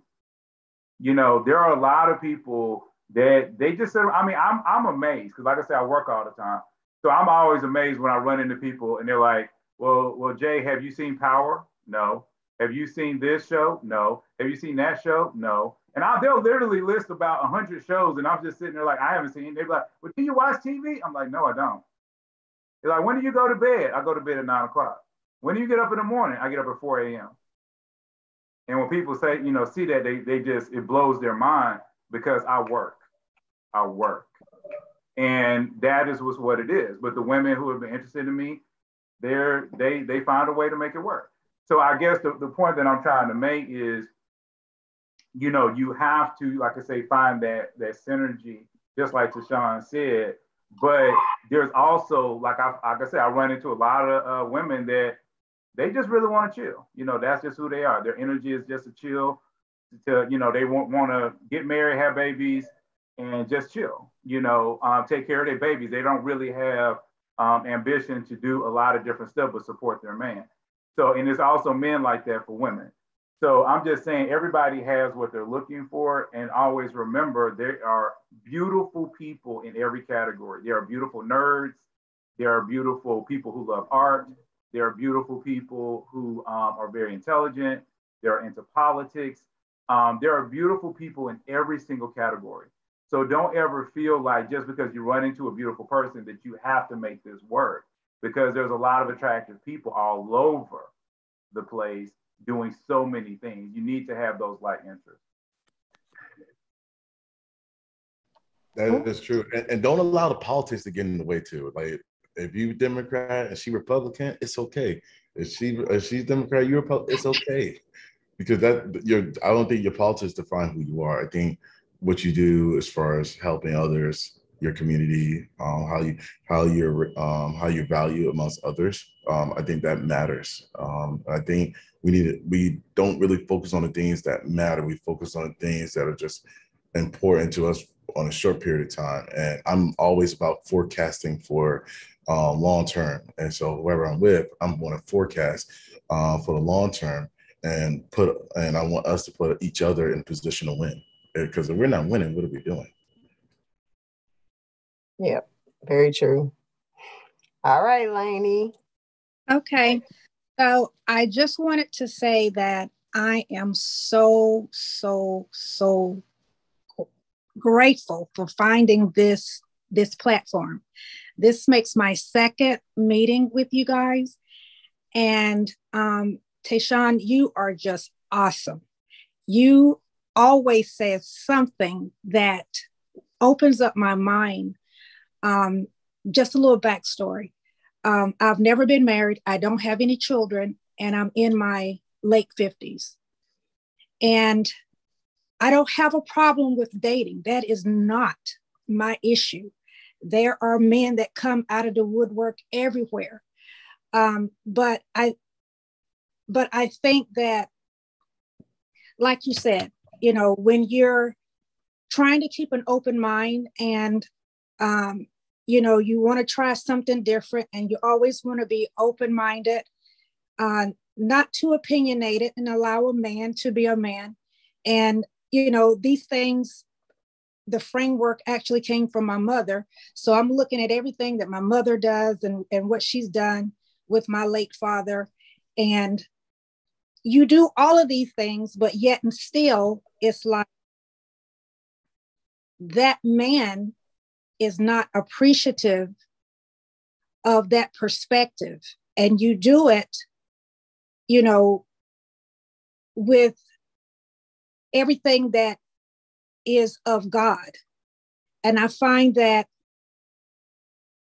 I have not gotten married because I am that woman that is out there that is floating around in this world, you know, that it doesn't seem I it I, I just don't connect with the the the, the man who does not have that perspective of God that really is a believer and know that God is the ruler of all things. Um, I think, and I and I hate to say it because you know they always want to tell you, you know, if you if you think something, then this is what the will is going to be done. But I feel that um, it's like I don't know what else to do besides keep my faith in God, continue to to move about accordingly in the world, but not be of the world, and just um, you know, just go through life. And then, of course, you know, I expire, at, at, you know, whenever it's time for me to expire. But I don't think I'm ever going to get married. I don't think I, I will ever. Uh, my, my definitely my time has passed when it comes to children, um, birthing children. But uh, on one hand, maybe it'll happen, you know, to get to actually get married. But I think that I'm one of those where it's just never you know, I date, but it's just, and the men are like, oh yeah, you know, uh, this woman, you know, she's celibate, you know, she li- she lives a, a, life of abstinence, you know, she's a vegetarian, you know, she's uh, uh, educated and all of that. But then when it when it comes down to it, it's like they want that, and they want a woman who allows a man to be a man and you know says you know maybe i don't i mean i'm not the person that you know um gives a, a, a i'm not a nagger. I'm not you know i'm always uh, very calm. I'm very laid back. I allow that man to be who he's supposed to be because like i said my framework comes from my mother and from my my grandmother. So it's like i know how to be in my position and how to stay in my lane according to the word of God. However, the men, I find they want you to come out of that. So it's like okay, well, they want you to, um, you know, wear more sexier clothes, or they don't want you to wear sexier clothes. It just depends upon which man this is. And then, you know, I may have a man who, okay, you now you want me to be sexual with you after a year, but how can I do that when I'm living a celibate lifestyle? So it's like, I don't know, should I be continuing to date or should I just stay home? and not even go out at all. So I am confused. Trishan, can you please help me? Because I am, I am literally confused. You know, I mm-hmm. I am confused. You know, I'm I'm a small petite woman, you know, and I'm probably like a size five or six. And it's like a man don't want to, you know, I hear them all the time. They don't want to be with a woman who doesn't take care of herself. They don't want to be with a woman who, you know, doesn't exercise. You know, I am nature inspired. You know, I work out, you know, I eat healthy, you know, you know, try to look good in everything that I put on, you know, inside and out, keep myself, you know, with, you know, with the Lord and always on that. But it's like they like it for a moment and then all of a sudden they don't care for it. They don't care for that mindset. They think that I'm too like a, a Bible toting woman here, you know, and it's like they inst- it from the beginning, they like it. Then all of a sudden it's like, no, I'm just tired of it now. You're just not, you know, uh, we're gonna have to, you you're gonna have to get more into the world. And I just, I'm just at this crossword where I just can't, I can't go past it. I don't know what else to do. So, but I just want to say I, that I am part of this group because everybody has a different perspective. Um, what you said today, Trishan, is just awesome. It just, it, it I feel like I don't know, should I just throw in the towel and just live, you know? Can I? There for what? Can I, I just no. can I make a can I make ahead, a comment? Go ahead, Joe Black. I'm sorry. I just think that um, her comments. Uh, I failed in a marriage to my wife. She was just like this woman. Uh, is it Lainey? Lainey?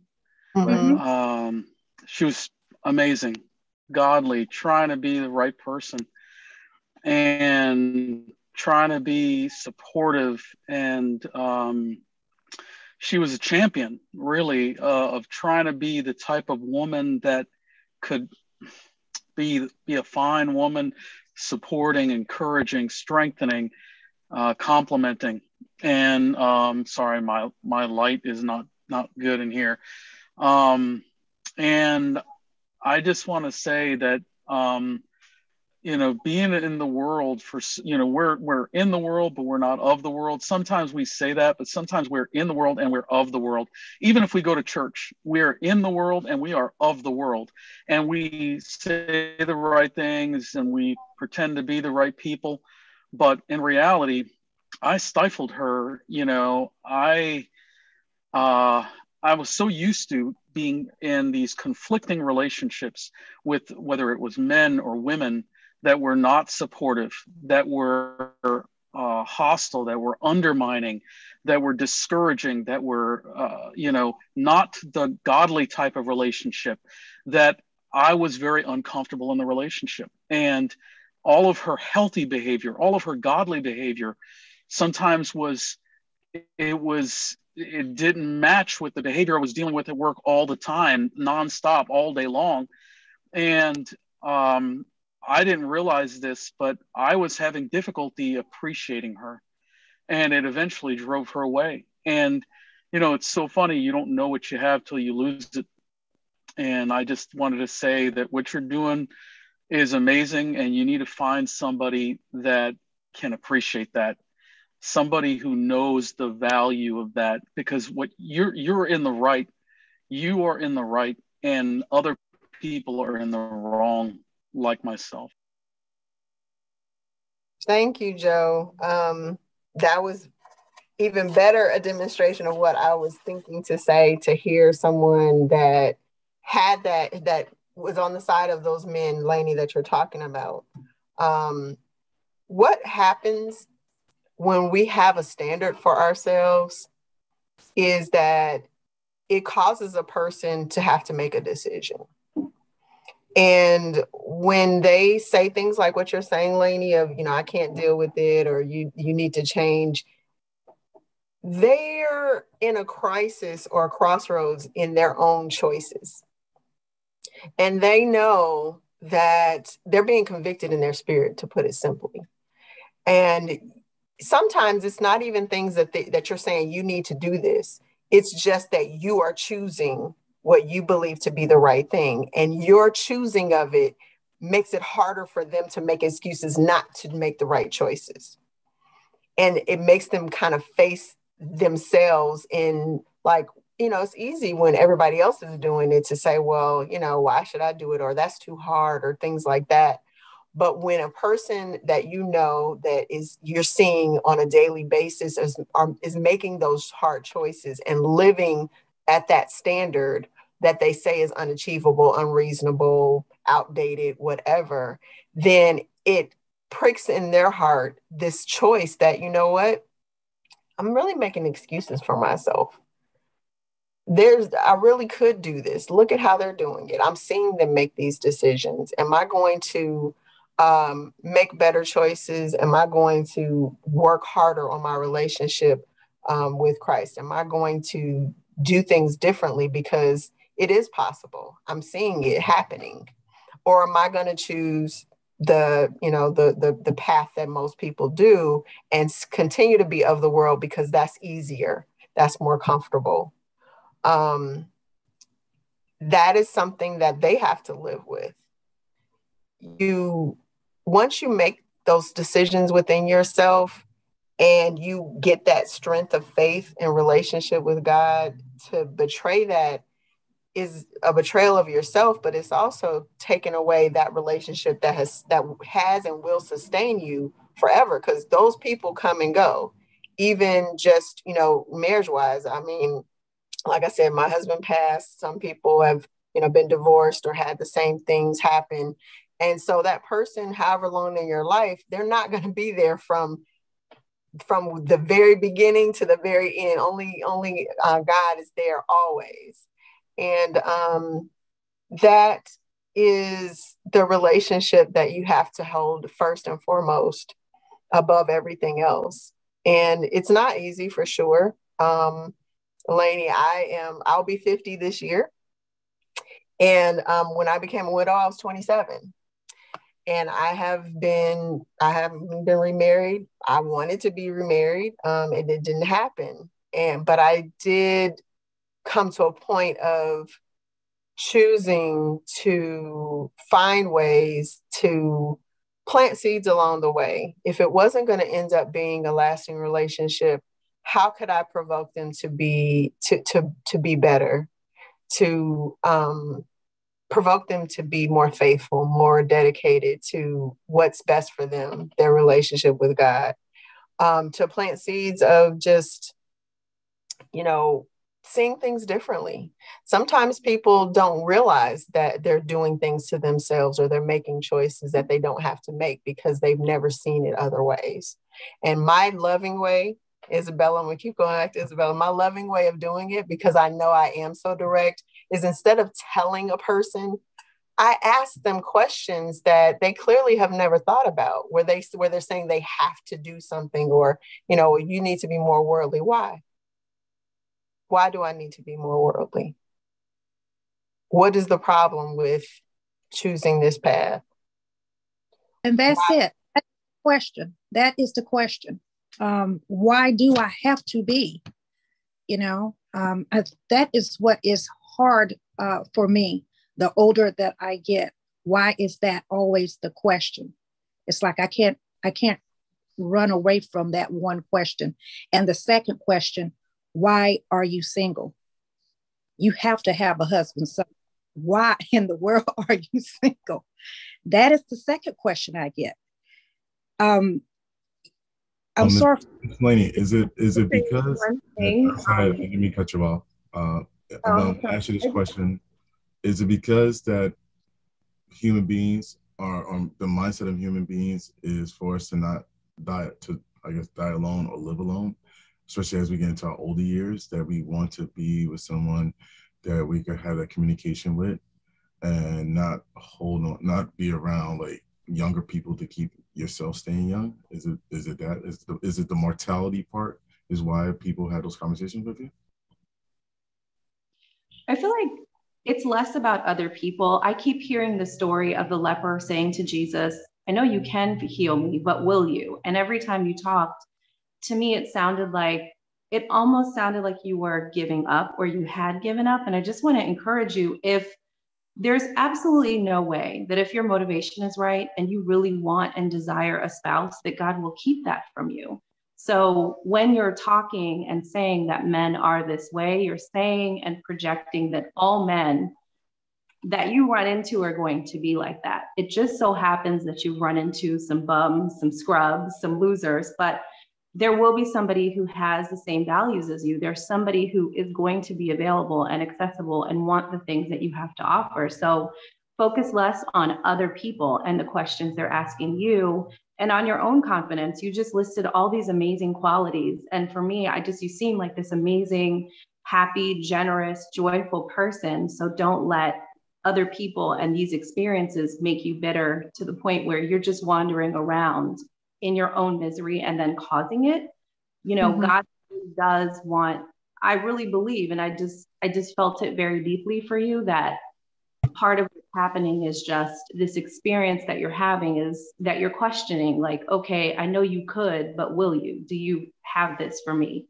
And he does. And you just have to like i just want to encourage you just keep believing in yourself in god's promise to you and in your own ability to, in the meantime, you know, love yourself and surround yourself with good people and grow in faith and love in your relationship. Like um, Tyshawn said, that this one relationship is the one that will be sustaining and lasting. But just because you've run into these people, these individuals that don't qualify, they're not qualified to be with you, doesn't mean that that's going to continue to be your experience.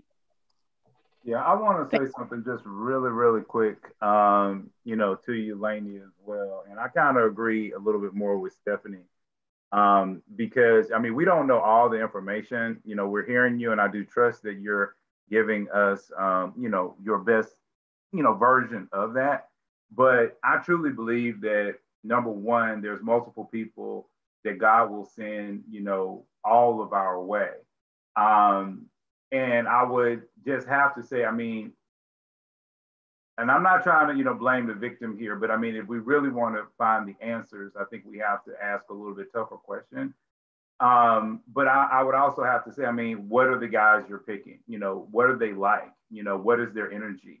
Um, what what are those things, that energy within them? Um, you know, that's one of the things that we all have to recognize. There is not just one type of man um, there's not just one type of woman. All women are not domestic. All women are not loving babies and caring about them. Um, there are women out there that are just as aggressive as, um, for instance, a Donald Trump, you know, that wants to take over the world and really be aggressive about finances. There are women out there that are just that aggressive. And there are men out here who are the best nurturers that you will ever see. They will just love a baby change those pampers, will wash, you know, your car, will vacuum the house. But what we find a lot, and I found a lot in this group, and I'm just going to be real, is that a lot of times those guys, they tend to be a little bit more domestic. They tend to be a little softer spoken. They're often overlooked.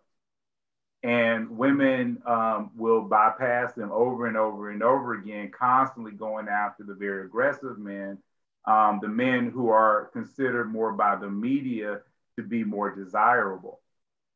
And you know, you can Google. I, um, can, go ahead. Can I? I forgive. Um, you said of man, and and that is very very pertinent here. Uh, the type of man. Um, I think you're onto something um, because the type of man that I have been dating, I guess, the past five years, I'll say five years straight, is well, they're all career, all career career men, excuse me, all educated men, they all career men. have very good jobs. however, they've been married at least once. There's one man um, that I've recently been dating, and he's been married twice. Uh, the men usually have at least one or two children um, that are not young. They're probably 18, 19, and in college. Um, the single man is much younger than me. Again, I'm in my mid 50s. Um, I don't care to date younger men, but I find that they are haven't been married in their 30s, but that's not I don't care to date younger men. I'm not saying anything is wrong with it if there's some woman who cares for that. But for me, in my age group, um, they've been married at least one time. And so for me, being a single woman, I just want to keep my mind open, but I don't want to go far back as a 30 in the 30s to date. Even though I've been asked, you know, uh, they do want to take me out, but I just prefer to stay around in my 50s. Well, honestly, what you're doing there is better. Um, I would even encourage you to date men in their 60s, um, not date guys really younger than probably your own age. And I'll be honest with you, just to be real, um, there's a big thing going around right now with younger men, and they actually seek out very attractive older women um, because they just really want to have fun with you uh, for a couple of years because they know most of the women are beyond child uh, childbearing years, and so they just want to have fun. And then after, and maybe have you to buy them a little bit of their wardrobe, and then they break up with you, and then they marry somebody younger and continue their life. Because when they they talk to younger women, the women want to get married.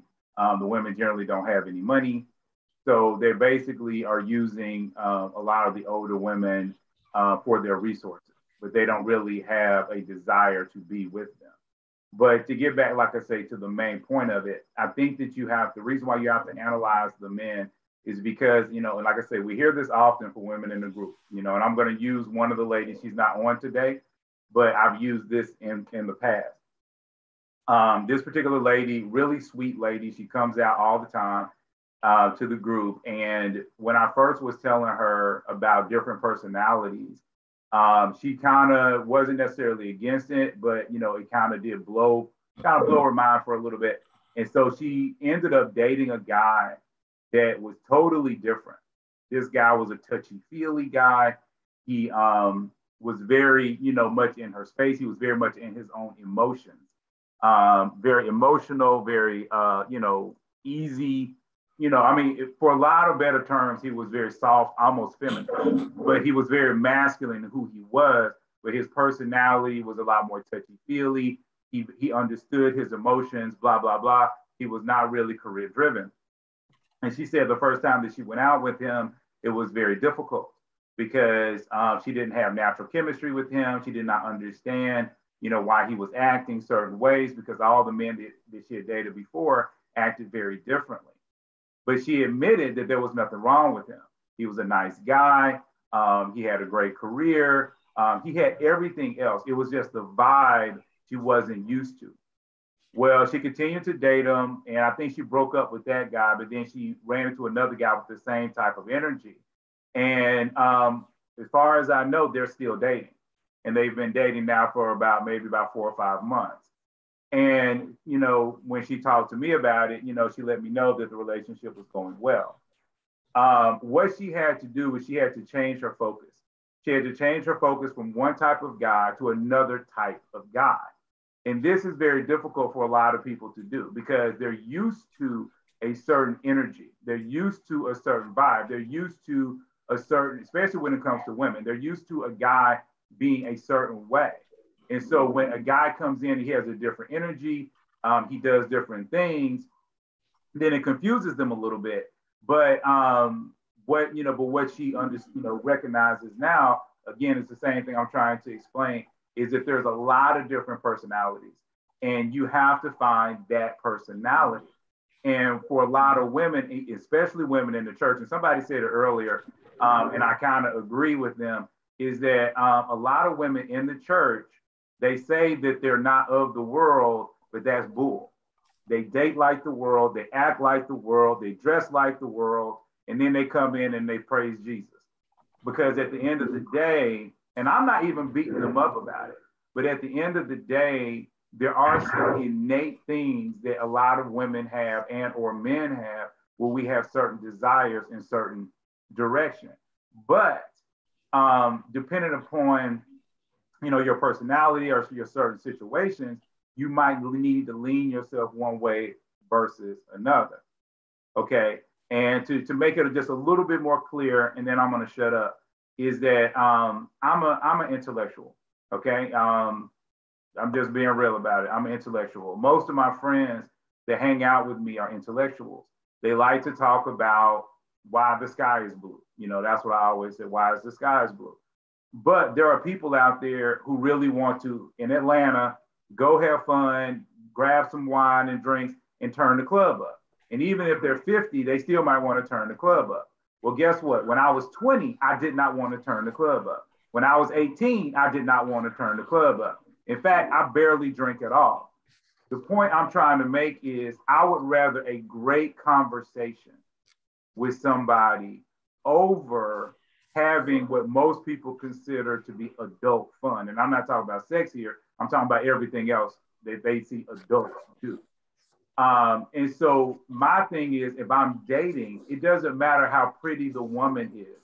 If she cannot keep an intellectual conversation, it will not work. I will not be attracted to her. I will just think she is boring. She'll think I'm boring because I don't turn the club up. But I don't think she's boring because she has nothing to say. So the thing I'm trying to, the, the point I'm trying to make is you got to find your person. That's why dating is so difficult because you're trying to find a person you're attracted to who has a personality that works well with you, that has a vision of the future the same as yours, plus about two, you know, plus being Christian and a couple of other things.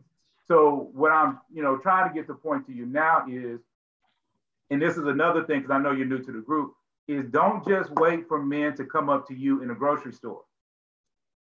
Okay. If you see a man that you like at church or whatever, you know, it's okay to smile. It's okay to look at him. It's okay to get his attention. It's okay for you to say hello.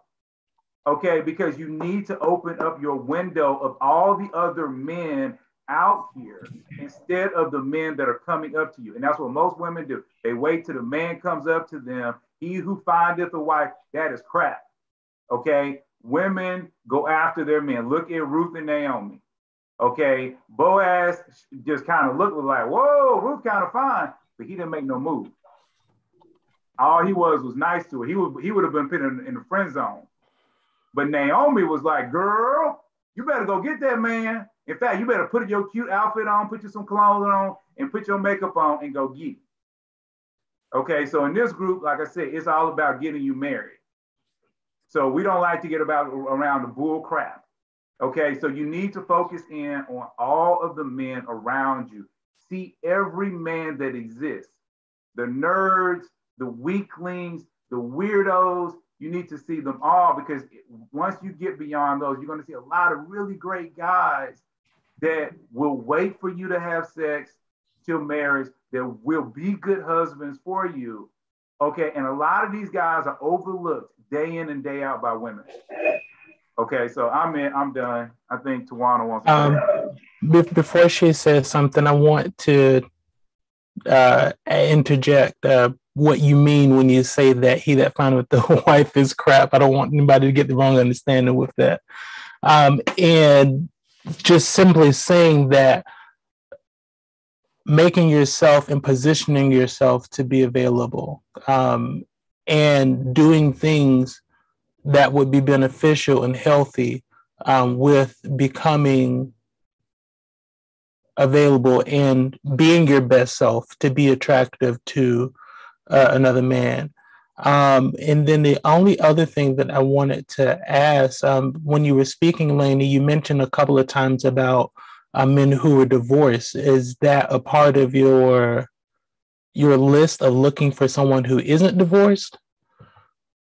Um, it's just that it when I first started dating, um, in my early 20s, it just single men who's never been married before, didn't have any children, or they might have had at least one child. Um, and then some period of time, I guess 10 years later, it was more of someone told me, Well, I think you need to open up um, your view of other men who has been married because sometimes people can get married early on in their lives and then um, find out that they outgrow one another or shouldn't have been together in the first place and that you should be open-minded to that. And just you know just look at them too. So then i was like okay well maybe they have a point here. Maybe i should start dating men who has been married before. So i just i never stopped. So i've been i've been dating men who has been married at least once or twice and has children. And um so now that, that's what i do. Okay. And the reason why i ask is because you mentioned it a couple of times. And so for me um, i'm thinking that that is a point in your mind of notoriety, whether it be good or bad. Um, but the thing that I would remind you of is that when a person has been married, just remember that in this moment, that is in their past, and not to allow that one point to be a part of the present moment between the two of you can potentially have. Now, if there are just other things about that man who was married, then that's a whole separate thing. Um, but that's a part of the vetting process that you go to go through. Um, but in two weeks, I'll actually be dealing with uh, the topic of divorce. Um, and the one thing that I will tell you for this one moment here um, as it relates to divorce and, and what God says about it. Um, and just remember that God gives us grace. Um, and not just with marriage, but with sin in general. If God were to hold us accountable truly to everything that we have done within our past, we would be in a very messed up position. Um, but just as He has allowed Himself to put those things that are in us in our past that he's delivered us from. Remember that their divorce is a part of their past um, and to allow for them to be extended the grace to be able to see where they are in their present.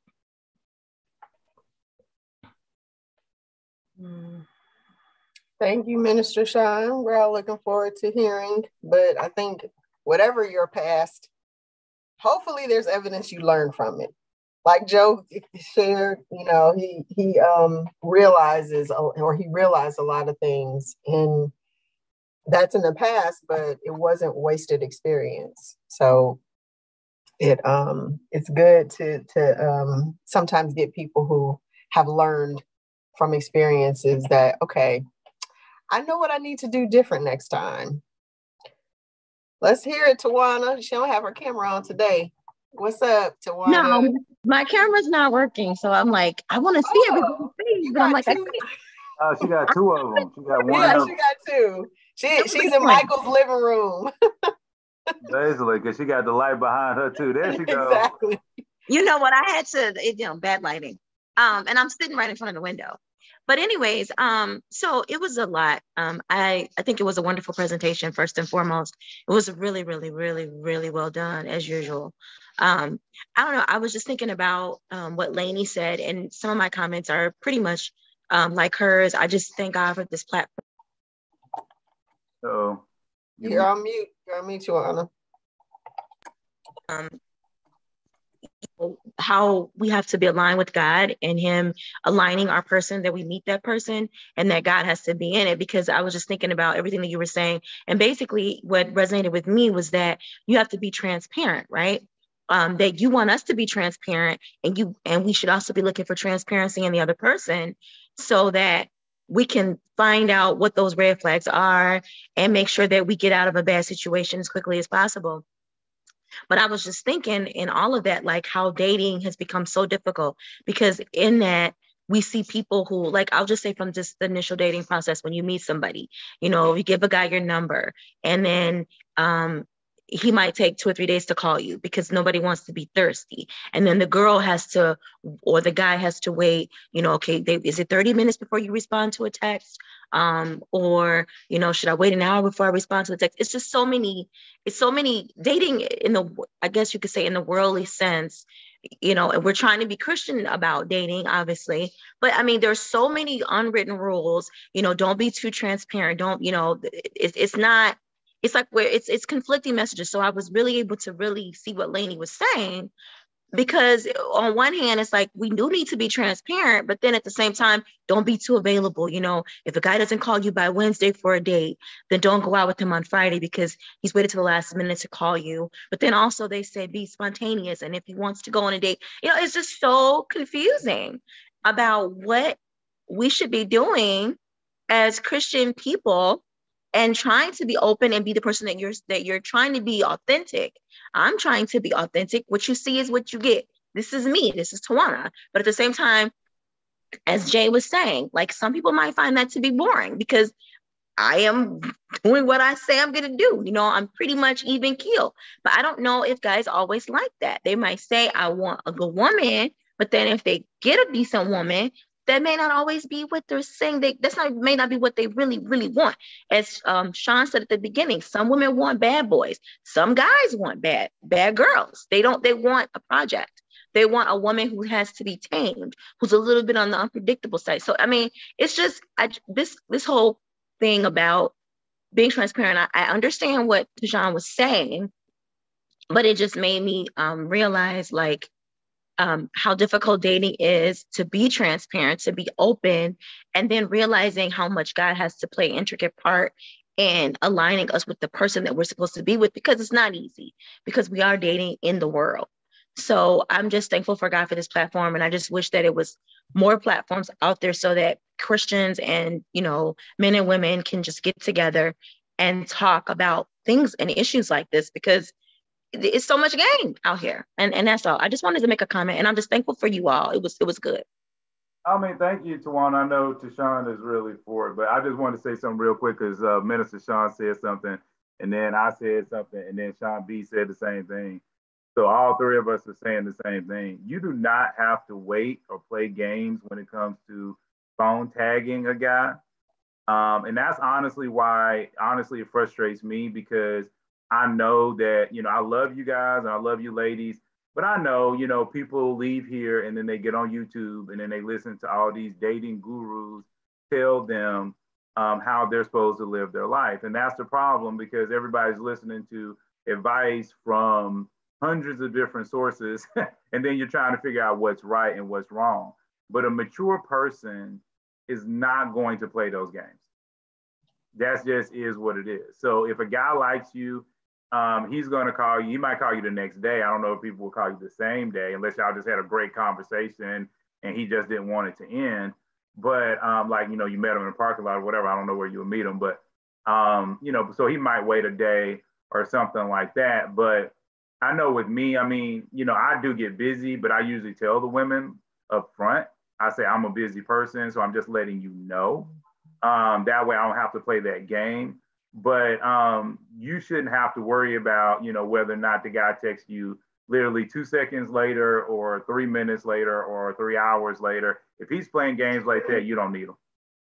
You know i mean if he's 18 okay i get it. If you're 21 maybe. But if you're over 25 and i think most of our our crew is over 25 okay no just get rid of that dude and just go on to the next dude. Because no i meant like i meant like you know they say that when you respond to a person's text, I've heard people say this dating gurus on whatever channel or whatever I can't think of now, but like if you get a if you get a, a text from a guy, you're so not supposed to reply right away. It's just so much um, in terms of rules, quote unquote rules about what we're supposed to do. So don't text right away. Wait about 30 minutes and then text them back. So you don't appear on a, so you don't appear too available because guys don't like sometimes women to be too available. So that's what I'm saying. It's like Again, when you meet somebody who's being transparent and authentic and seeming like they're interested in you, you should be open. I'm just saying for the guys and the women on the group in the group, if you meet somebody and they seem to be interested, you shouldn't think of that as that person. Um, you know, maybe they're liking you too much. You know what I mean? It's just it's just silly to me. Um, yeah, it is. I agree. Go ahead, Minister Sean. That's a good point. It's silly to me too.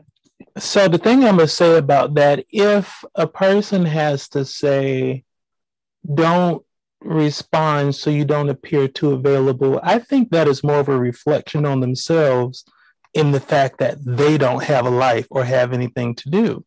So it sounds like they need to find something to do. Um, and as JL would say all the time, get off the couch and go outside and do something. Um, but the other part of that too, though, is Bishop Jakes uh, did a series lesson um, once about natural instinct. Everything in, in life that is around us fall into their natural instinct.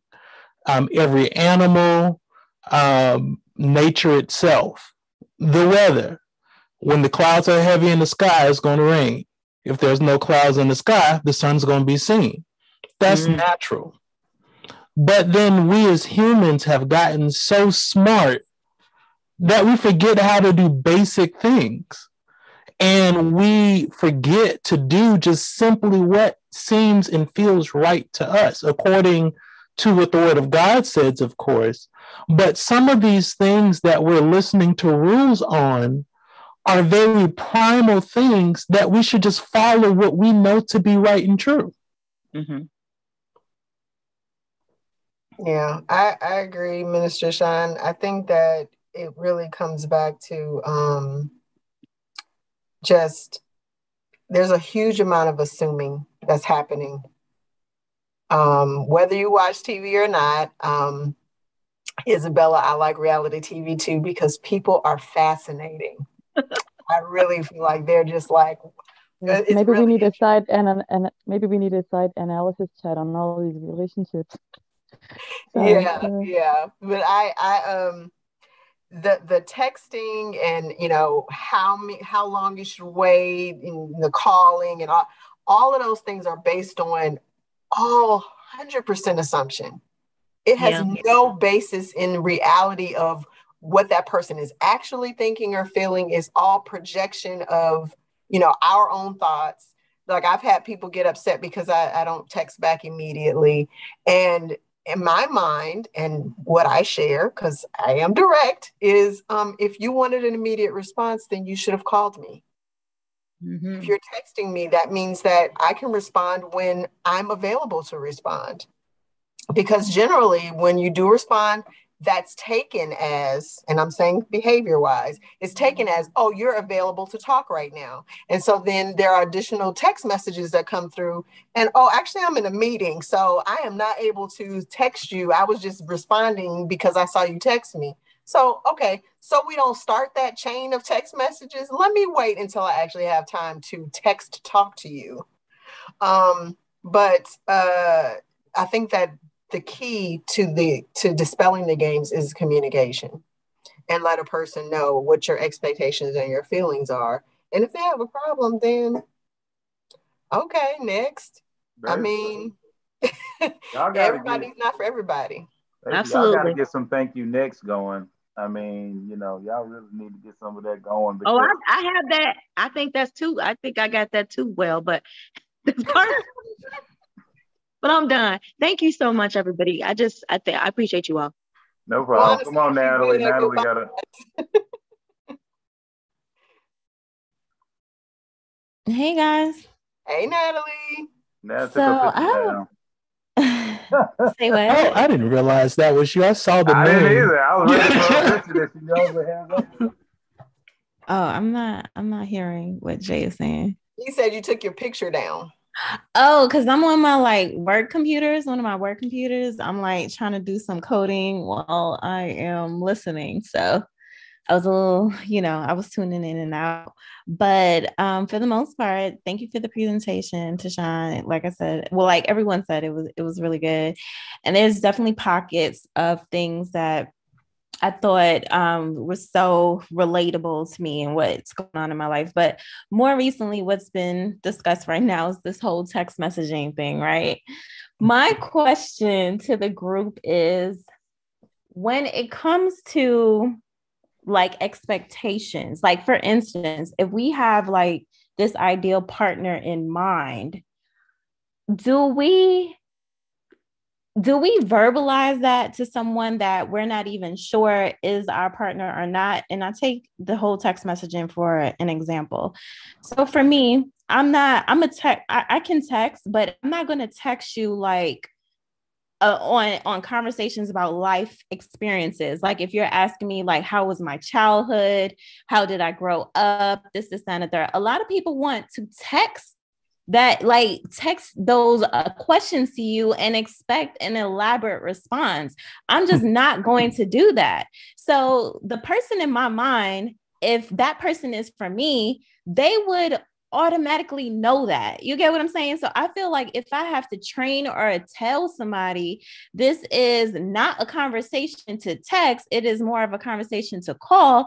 For me, that's an instant turn off because I'm just like, uh, yeah, this person's not for me. I shouldn't need to uh, ABC you through, you know, certain basic stuff. So for me, I will kind of see my way out of this little communication that we have because that's already for me like almost a red flag as in how many other minute like minor thing not minor things but um minuscule things where it's just like i'm gonna have to train you or baby feed you or tell you how i you know quote unquote want to be treated. I mean that's not one of those things in, in terms that falls in line with that but like what i feel like certain mindsets like i can't i can't tell you how to how to think you know what i'm saying so that's why i was just like i'm just like if i have to tell you certain things i could already feel that we don't think alike so for me that's where the effort in what i do or the way i communicate with you is going to disseminate after that because it's just like we're already not on the same page when it comes to some basic stuff.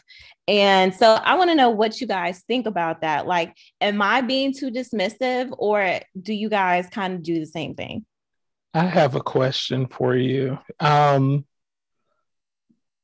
one, have you ever made that fact known, but then you said that you shouldn't have to make it known? So, my question um, turns to if it is so basic, why is it so hard to share that? Um, I would say not basic, but rudimentary. Like for me, if you are trying to get to know someone, if texting is what you do, that's a, at least from my experience, it's a big indication that that person is not a good communicator. I mean, I could be wrong. I don't want to blanket, you know, people that don't really, you know, the masses, I guess you could say. But I don't know. I just feel like there are just certain indicators that I look at. Like if a guy tells me, hey, let's talk instead of text, okay, that's somewhat of a turn on for me because I'm like, we might be on the same page because I don't have to tell you to it's almost like those things that there is even a saying or a meme about that where my love language is not having to tell you you know and mm. i feel mm-hmm. like that's one of the things that fall in, falls in line with that but love languages themselves have to be communicated um, and the thing that I would, the last thing that I'll say on it is that um, write the vision and make it plain. Um, I think at some point you have to be willing to say what it is you want about those things. It may seem elementary to you, but the fact is that we live in a time now where um, there are people who have lived their lives through a communication space just through text message.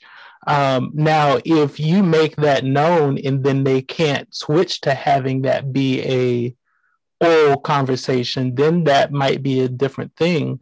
Um, I think about, for example, with me, there was a girl that I was trying to pursue once, and I, I mentioned um, this before. I was on my way home from work once and um, saw uh, someone that I thought was attractive, turn my head all the way around in the car. Oh, you tell us the quick, story. right. Found the quickest parking space I can to go and um to introduce myself. And uh, with her, I initially began by texting, mm-hmm. although I hate texting. Mm-hmm. But the reason why I uh, did that is because what I found was that most people now only prefer to communicate through text. Mm-hmm. Um, and that wasn't the only reason, but that was a part of the reason why I missed out on who could have been a great person because I had began to try to lend myself to be um, what my experiences were teaching in that moment. But just because we're texting, if you don't make it known that you prefer to talk, um, and not necessarily saying that you even have to say, "Hey, I hate texting." If you want to blah yeah. blah blah blah, um, but if the conversation is initiated, "Hey, what do you think about?" Uh, I don't know anything. What do you think about going to the moon? Saying, "Hey, this is a conversation that I prefer to talk about in person or over the phone." uh, can set up the standard so that he knows she wants more interaction uh, outside of texting. Mm-hmm. That could be very beneficial and still lead you to someone who's able to adequately communicate in the way that you want. Gotcha. I appreciate that. That makes sense.